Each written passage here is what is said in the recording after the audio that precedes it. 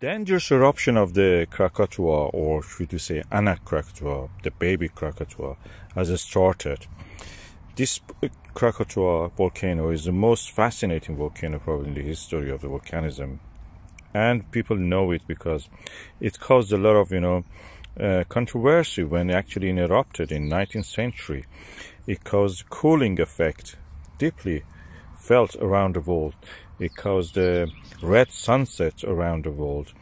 And uh, because of the many documentaries built about this, it, it became really part of the folklore of the volcanology. It has now erupted, it's in eruption. This is located in Indonesia, of course, as we know. And uh, in the Indonesian islands are part of the uh, subduction zone of the um, Indo-Australian plate under the Eurasian plate, creating these volcanoes. This one is dangerous because it's in the middle of the, you know, a sea between the Java and the rest of the islands uh, of the archipelago of the Indonesia. And the water coming in contact with the lava and magma can create a steam and explosion.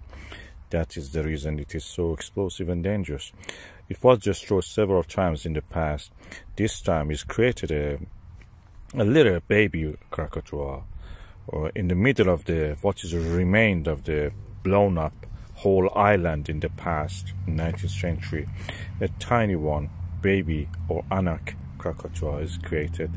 This is regularly erupting now, and this recent one is dangerous because it has continued. It has not uh, stopped since uh, two, three days ago. So it's not just one eruption, it's continuing.